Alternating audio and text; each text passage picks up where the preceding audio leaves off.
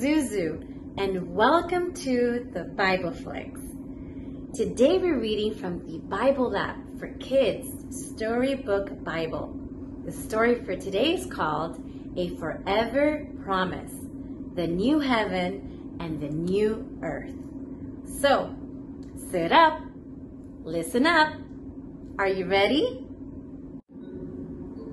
By the same power that brought Jesus back from the dead, God will one day make all things new. Jesus will return just like God's word promises, and those who believe in Jesus will live with him forever.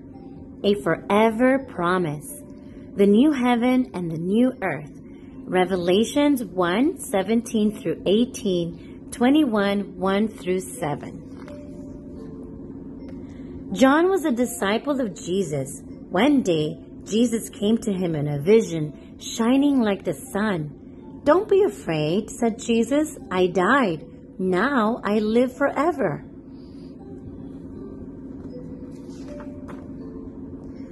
Then John saw a new heaven and a new earth.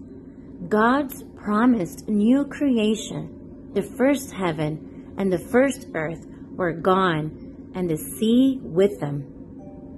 Next, John saw God's holy city, the New Jerusalem. It was coming down from heaven. It was beautiful, like a bride on her wedding day, ready to meet her husband.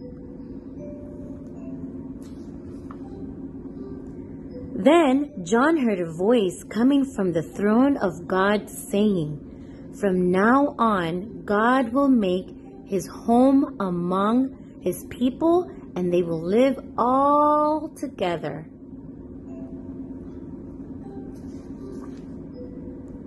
In this new heaven and new earth, there won't be any tears because no one will be in pain and no one will die. Those things are gone forever. Then the voice from the throne said, I am the beginning and the end. If you are thirsty, come to me, and I will give you the water of life.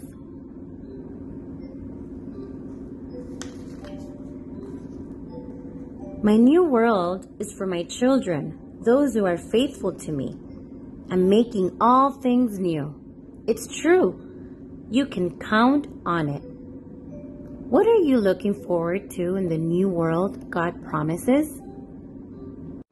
The end! Thank you so much for watching. I hope you enjoyed our Bible Flick story for today. If you like our videos, please make sure to click like and subscribe. I'll see you next time. Bye!